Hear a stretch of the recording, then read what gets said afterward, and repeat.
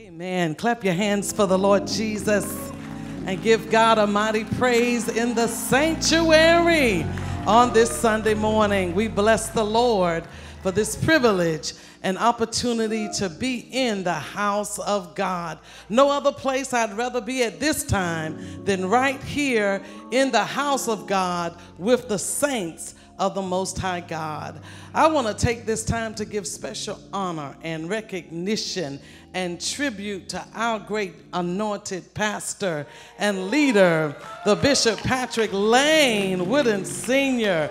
Amen. We honor the man of God, and I tell you, we thank God for him. We are so proud of him.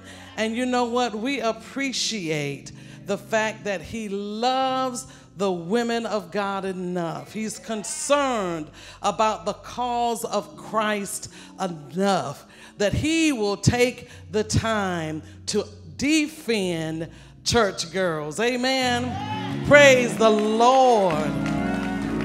Praise God. We thank God for our pastor for doing just that. Amen. Uh, church girls are not just any old girls. Praise the Lord. Amen. Church girls are not just girls who come to church. Church girls are the church. We are the called out ones. The ecclesia is what we are. Hallelujah. Amen. Church girl has always been an endearing term. It has always been something that, that signifies honor and distinction. It's something that distinguishes us from the world.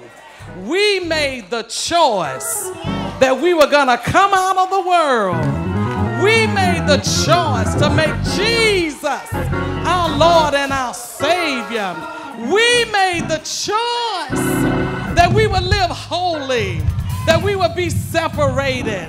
We're not perfect. We've made mistakes. Some have been up and some have been down, but we stayed in the church. Some left and came back, but we stayed in the church.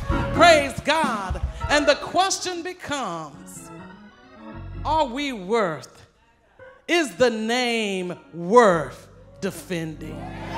Don't we deserve to be defended?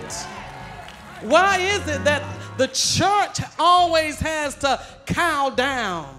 Why is it that the church always has to, you know, well, just leave it alone. Don't say nothing. You know, you know, God will handle it, and God will handle it, but sometimes God anoints us to handle it.